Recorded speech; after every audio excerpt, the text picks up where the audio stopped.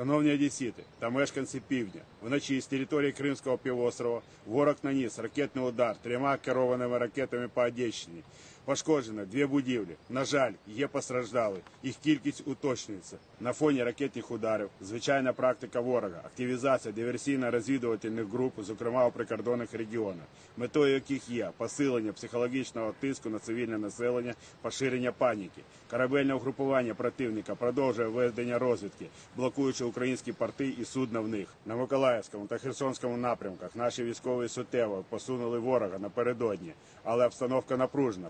Противник інтенсивно обстрілює відвойовані у нього території. Цілями окупантів залишаються об'єкти цивільної інфраструктури. Разом з тим, військовослужбовцями наших підрозділів знищено ще два безпілотно-літальних апарата Орлан-10 над Херсонщиною. За попередню добу втрати противника на південному напрямку склали особового складу 15 осіб, ворожої техніки 7 одиниць. Всі разом ми маємо бути пильними, свідомими та зосередженими. Ворог підступний, а ми мудрі, сильні і гідні, гідні мирного життя, де обстановка стабільна і контрольована.